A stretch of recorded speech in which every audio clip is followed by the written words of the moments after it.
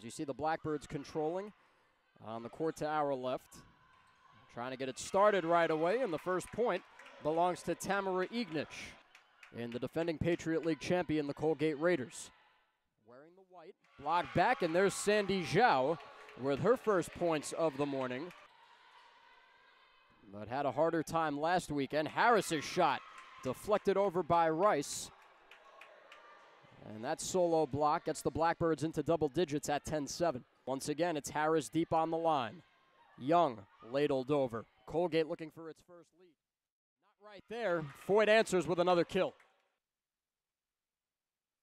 To keep the point alive. Jurich going out deep. And there's Ignich.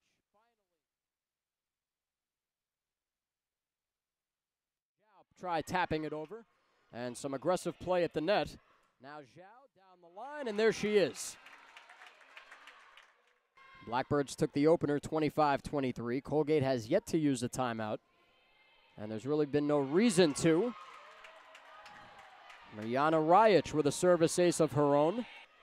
Kremen able to deny that shot from Foyt. Off the top of the wall. Where it's played down the middle. Rajic with nobody home bangs it away to get LIU to 20.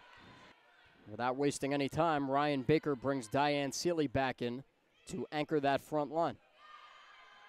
Very close at the net. Sandy Zhao punches it down for a kill. Young near side, blocked back by Foyt. Got some help from Rice. Young with another attempt. Foyt tipped it back.